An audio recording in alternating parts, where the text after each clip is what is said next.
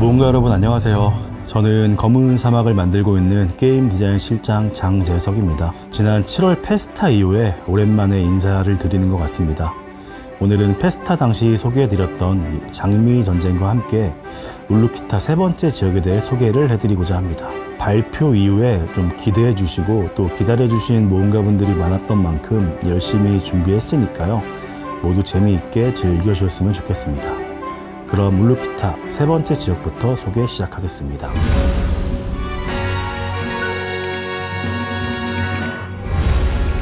네, 울루키타는 지난 8월 지역 개방과 함께 죽은 자들의 도시와 퉁무라도 이적지 사냥터가 추가되었는데요. 세 번째 사냥터인 어둠 추종자 침소가 더해집니다. 어둠 추종자 침소는 울루키타를 기준으로 아래쪽에 위치한 지역입니다.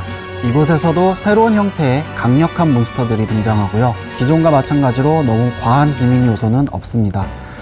이곳은 공격력 310, 방어력 420 이상 모험가분들에게 추천드립니다. 그리고 어둠 추종자 침소 업데이트와 함께 울루키타의 메인 의뢰도 추가됩니다.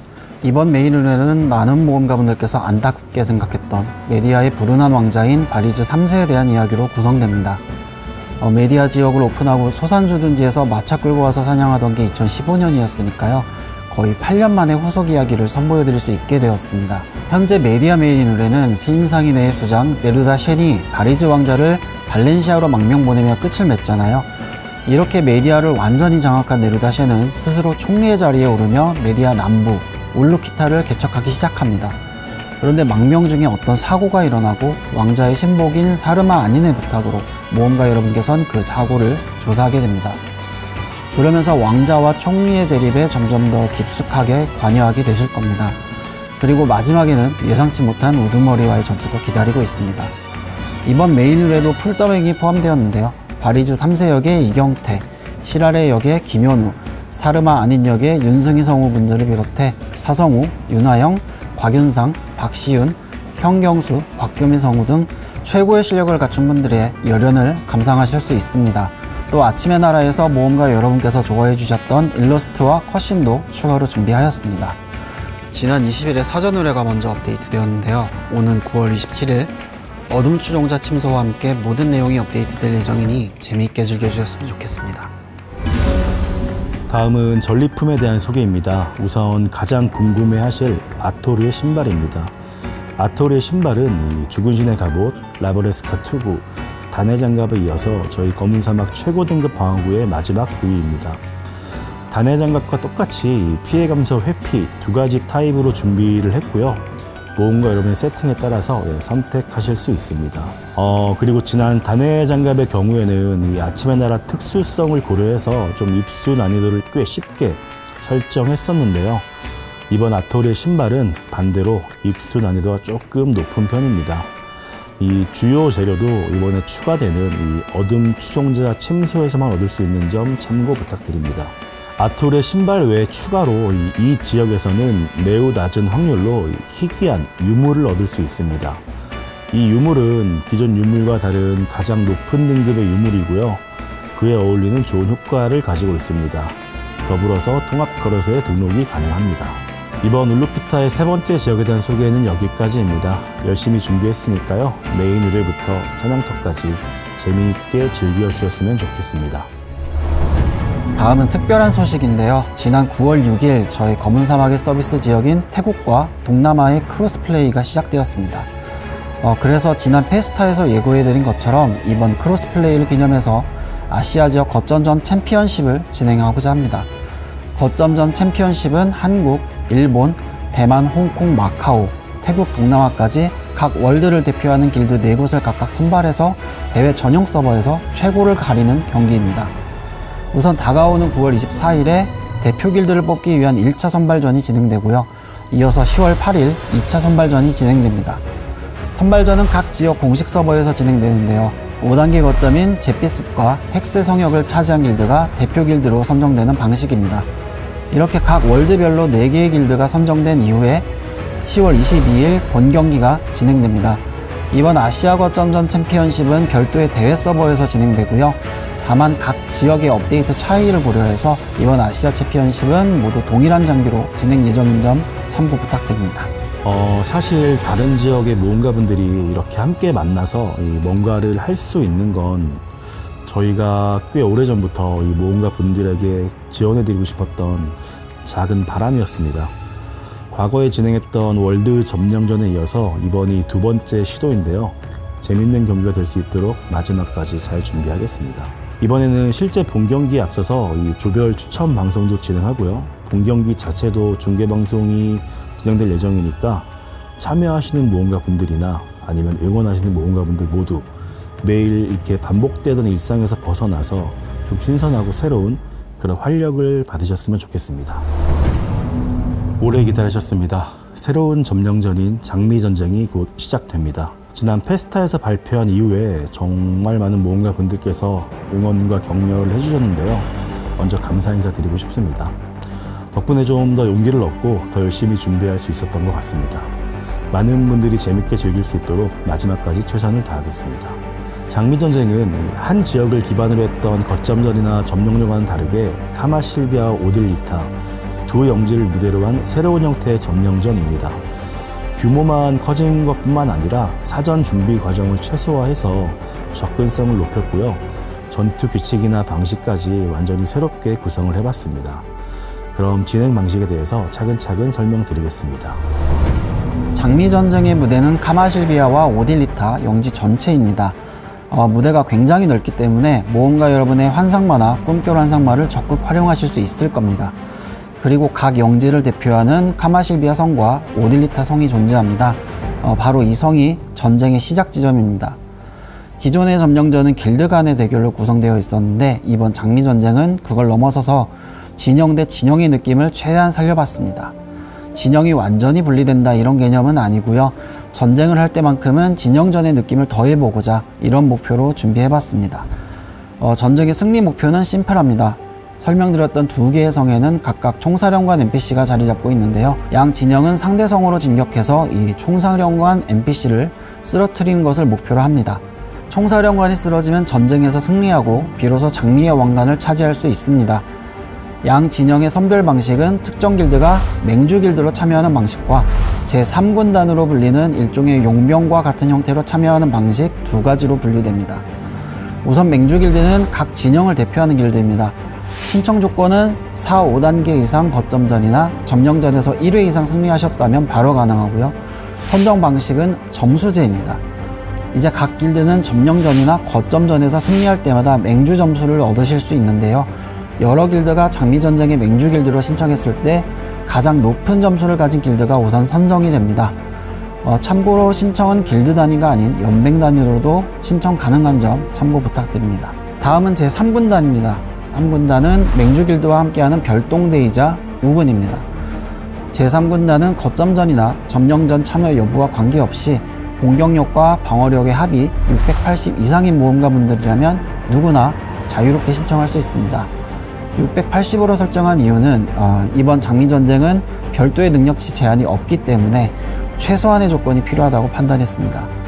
이렇게 일반 모험가분들이 제3군단에 신청을 하면 지정된 시간에 참여 자격이 무작위로 결정됩니다. 능력치 순이 아니기 때문에 기본 자격만 갖추신다면 누구나 장미전쟁에 참여할 수 있는 기회를 갖게 됩니다. 총 인원은 진영당 맹주길드가 100명, 제3군단 200명, 도합 300명으로 구성됩니다. 이에 따라 장미전쟁은 최대 300대 300으로 진행됩니다. 제3군단의 경우 선정되시는 분들 외에도 일부가 예비 전력으로 편성이 되는데요. 만약 특정 진영에 300명이 채워지지 않는다면 바로 이 예비 전력 중에 일부가 참여 자격을 얻는 형태로 구성하였습니다. 이 예비 전력은 프리시즌에서는 지원되지 않고 정규 시즌에서만 진행 예정인 점 참고 부탁드립니다. 이렇게 맹주 길드와 무작위 선정 방식을 선택한 이유는요. 늘 정해진 반복되는 그런 패턴이 아닌 매번 다른 상황들이 발생할 수 있도록 하기 위함입니다. 어떤 모험가분들이 참여할지 모르기 때문에 주어진 상황에 맞게 전략을 구성하는 것이 중요합니다. 어, 대신에 모든 것이 무작위가 아니라 두 개의 맹주 길드가 리더 형태로 구성되었습니다. 아무래도 경험이 많으신 역전의 용사님들이다 보니까 제3군단을 이끌어주시는 멋진 모습을 담고 싶었습니다. 아, 그리고 이것도 중요한 내용인데 맹주 길드에는 지휘관이 존재합니다. 맹주 길드에서는 각 진영을 대표하는 지휘관 한 분과 보좌관 3명을 각각 선발해야 합니다. 특히 지휘관으로 선발되신 모험가분은 막강한 권력을 갖게 되고요. 이번 장미전쟁을 지휘할 수 있게 됩니다. 이 부분이 왜 중요한지는 전략과 전설 콘텐츠를 먼저 말씀드리고 바로 이어가겠습니다. 다음은 장미전쟁의 새로운 요소들에 대한 소개인데요. 먼저 전술 지도입니다. 장미 전쟁이 시작되면 이 참여 모험가 분들은 기존의 월드맵을 사용할 수 없습니다. 대신 전술 지도라는 새로운 형태의 지도를 통해서 어, 상황들을 파악할 수 있습니다. 이번 장미 전쟁의 참여자들은 기본적으로 아군과 적군의 위치를 파악할 수 없습니다. 내 위치만 전술지도에 보이고 다른 지역은 검은 안개로 뒤덮여 있습니다. 어, 때문에 움직이면서 시야를 확보하고 이를 이용해서 전개해 나가야 합니다. 대신 앞서 설명드린 이 지휘관으로 선정된 모험가분은 아군 전체의 위치와 모든 시야를 공유받을 수 있습니다. 때문에 지휘관은 이 전술 지도 안에서 전체적인 전장의 상황을 한눈에 파악할 수 있습니다. 어, 이 때문에 지휘관은 음, 강력한 오더로서 여러 명령 체계를 통해 전쟁에서 승리로 이끌 수 있는 유의미한 역할을 할 수 있습니다. 각 지휘관은 전술 지도에서 3군단 부대를 선택해서 임무를 하다할 수도 있고 지도 안에서 특정 인원을 위해서 이동과 같은 명령도 내릴 수 있습니다. 이 대상자들은 전체 시야가 공유되지 않기 때문에 이 지휘관의 명령이 곧 무언가를 해야 하는 원동력이 됩니다. 어, 또 미션에 성공하면 일종의 재화인데요. 어, 즉 돈을 보수로 줄 수 있습니다. 더 많은 보상으로 제 3군단에게 더 동기부여를 해줄 것인지 이런 것들도 지휘관의 판단에 따라서 진행할 수 있습니다. 반대로 일반 참여자분들은 자유롭게 활동하거나 아니면 지휘관의 명령에 따라서 다양한 역할을 수행할 수 있습니다. 공격을 하라고 하면 공격하면 되고 이동하라고 하면 이동하면 되고 수비하라고 하면 수비를 하는 그런 정예병사 같은 느낌으로 생각해 주시면 될 것 같습니다. 어, 그러면 잠깐 어, 실제 어떻게 작동하는지 함께 보겠습니다. 현재 화면은 지휘관의 시점이고요. 이 보이는 것처럼 모든 아군의 위치가 전술지도에 표시됩니다. 또 아군의 시야에 적군이 발견되면 적군도 함께 표시됩니다. 부대 같은 경우에는 전용 창을 열면 어, 지금처럼 모든 부대를 확인할 수 있습니다. 이 부대 관리까지 모두 지휘관이 하는 건 아니고요. 예, 부대 가입과 탈퇴는 모두 개인이 직접 하실 수도 있습니다. 어, 그리고 지휘관은 이 부대 이름을 역할에 맞게 직접 설정할 수도 있습니다. 지금 화면을 보면 다들 어딘가로 움직이는데 어, 저기 잠깐 헤매고 있는 3군단 일원이 보이네요. 어, 저분은 선택을 하고 이렇게 우클릭으로 이동 명령을 내리면 이 선택된 대상은 이 지휘관의 명령과 함께 지정된 위치로 길찾기가 활성화됩니다. 또 지휘관은 특정 대상이 아니라 아군 전체에게 보이는 이 전략 핑을 지정할 수 있기 때문에 여러 방향으로 활용할 수 있습니다. 다음은 미션인데요. 예, 현재처럼 부대를 선택하고 원하는 목표를 선택해서 미션을 줄 수 있습니다. 추가로 특정 성소를 선택해서도 미션을 줄 수 있는데요. 현재 보이시는 것처럼 특정 성소를 선택하면 바로 UI가 활성화되는데 바로 여기서 단일 혹은 복수 부대를 선택해서 한 번의 미션을 내릴 수도 있습니다. 그리고 미션을 받은 대상 역시 화면에서 바로 확인이 가능합니다. 아, 그리고 이번 장미전쟁의 참여자들은 캐릭터 이름을 기존과 다르게 좀 표현하였습니다. 내 진영과 계급, 그리고 가문명까지 이렇게 세 가지 정보만 활성화됩니다. 지휘관과 보좌관을 제외하고 어, 맹주길드의 길드원과 제3군단의 일원들의 이 계급은 전쟁 중 네, 활약에 따라서 실시간으로 좀 이름이 바뀌도록 했습니다. 약간의 동기부여를 살짝 얹어 보았습니다. 정리를 해보면 어, 지휘관은 내가 원하는 대로 나만의 그림을 그려 나가면서 전술적인 승리를 해나가는 형태로 일반 참여자분들은 우리의 지휘관을 신뢰하고 이 맡은 바 임무에 충실하는 정예병사 같은 느낌으로 함께하는 전쟁 놀이라고 봐주시면 될 것 같습니다. 전략 시뮬레이션인데 어, AI가 움직이는 게 아니라 실제 플레이어 분들이 좀 기반이 되는 형태라고 봐주시면 될 것 같습니다. 다만 이 지휘관 혼자서 모든 걸 하면 너무 부담스러울 수 있잖아요. 그래서 보좌관 3명을 추가로 선정할 수 있게 하였습니다. 어, 보좌관은 지휘관의 역할 일부를 대신 수행할 수 있습니다. 다음은 전쟁의 진행 방식입니다. 어, 우선 전체 지도를 보시면 양 진영의 성을 기준으로 일종의 임시 거점 역할을 해주는 20개의 성소가 연결되어 있는 것을 확인하실 수 있을 겁니다. 이 성소들 역시 대장급 NPC들이 각각 자리 잡고 있는데요. 이들을 쓰러뜨려서 성소를 점령할 수 있습니다. 각 성소는 기본적으로 부활지의 역할을 하고요. 추가로 이 성소를 점령했을 때 각 참여자들이 강력해질 수 있는 다양한 passive buff 효과를 가지고 있습니다. 어, passive 효과는 각 성소마다 고유의 능력이 정해지는 방식이고요. 해당 성소를 점령하고 유지하는 내내 효과가 유지됩니다. 기본적으로 성소는 아무 곳이나 막 점령할 수 있는 것은 아니고요. 거점 연결과 같이 선행 거점이 존재합니다. 때문에 각 진영은 성을 기준으로 차근차근 성소를 점령해 나갈 수 있습니다. 그리고 한쪽이 너무 강력했을 때 역전의 여지를 남겨두기 위해 연결된 성소의 중간을 끊어버릴 수도 있습니다. 예를 들어 한쪽 진영이 A, B, C, D, E 성소를 연결해서 여러 효과를 받았는데 상대가 A를 점령해버리면 B, C, D, E 효과가 전부 사라지게 됩니다. 때문에 성소를 점령하고 계속 집중하는 것이 아니고 타이밍을 잘 잡아서 성소에 집중할지 상대 성으로 진격해 총사령관 NPC를 쓰러뜨릴지 기회를 포착하면서 집중하셔야 됩니다. 일반 성소 외에 정령의 재단이라고 불리는 가이핀 라시아 형태의 석상을 발견하실 수 있을 건데요. 이 재단은 양 진영 가운데에 위치하고 있고 성소와는 다르게 조금 특별한 방식으로 점령해야 됩니다. 석상의 흑정령의 분노를 특정 수치 이상으로 채우면 점령하는 방식이고요. 이 정령의 재단을 활성화하면 장미전쟁 전용 공성 병기를 이용할 수 있는 권한이 주어지고요. 동시에 몬스터를 상대로 더 단단하게 버틸 수 있는 특수 효과를 받을 수 있습니다. 때문에 이 buff를 받고 다른 성소나 성으로 진격했을 때 좀 더 유리하게 전투를 이끌어 나갈 수 있게 됩니다. 아 그리고 전용 공성 병기는 정령의 제단을 통해서만 얻을 수 있는 건 아니고요. 월드 곳곳에 배치되는 공성 병기를 바로 이용할 수도 있습니다. 다음으로 전장의 남쪽에는 우리 선장님들이 활약하실 무대인 너른 바다가 펼쳐져 있습니다. 해상전에서는 성소와 같은 전략적 요충지는 없고요. 오로지 힘싸움에만 집중하실 수 있도록 구성했습니다. 이 힘싸움에서 승리하신다면 각 성의 선착장을 자유롭게 이용할 수 있게 되는데요. 해상으로 적진에 침투할 수 있는 루트를 확보하게 되는 셈입니다. 그리고 성서 혜택 외에 이 지휘관 모험가 분들에게 주어지는 이 진영 기술이라는 게 존재합니다.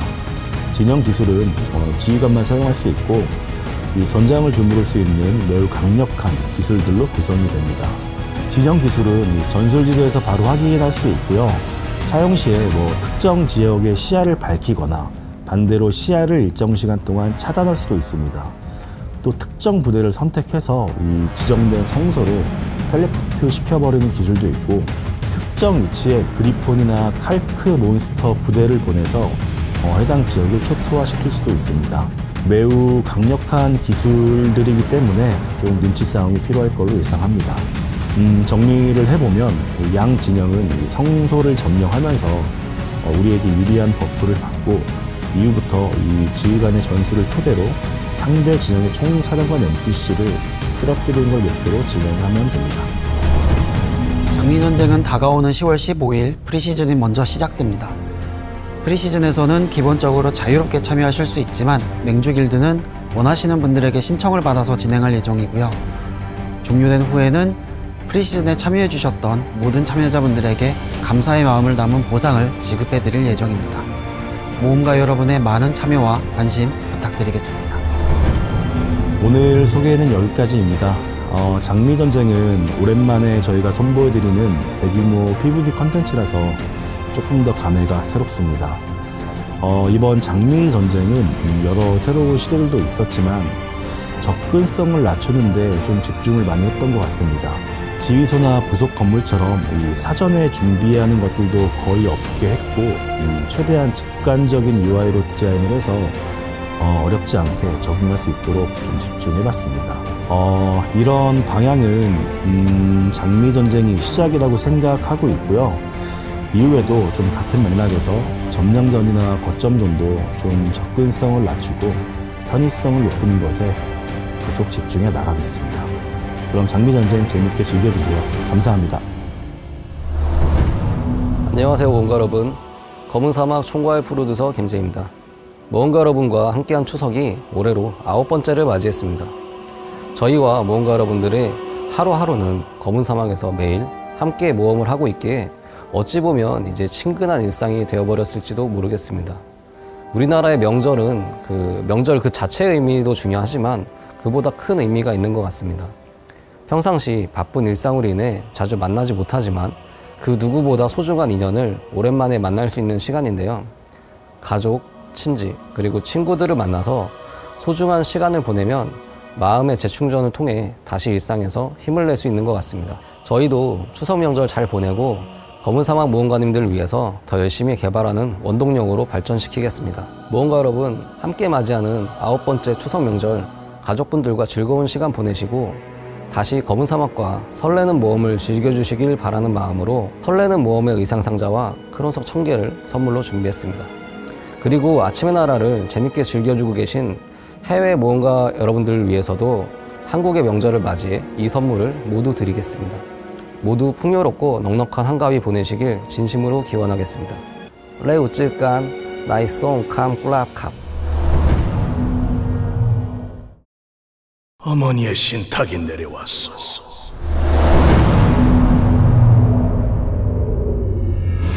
바넬과 베디르, 모든 실비아의 딸들은 무릎 꿇을 지어다. 내 뒤를 이을 하나의 태무 아래. 카마실비아. 그곳은 우리 모두의 숲이었지. 우리는 오딜리테를 개척한 적 없어. 가넬들에게 잔인하게 내몰렸을 뿐. 이제 어머니의 숲을 우리가 되찾을 차례야. 카마실비아 여신께서 남겨주신 마지막 선물. 목적이 무엇이든 나무를 해치려는 자는 신성한 어머니의 숲에 발들일 수 없어. 지금부터 영원히 이 숲으로부터 베디리들을 격리한다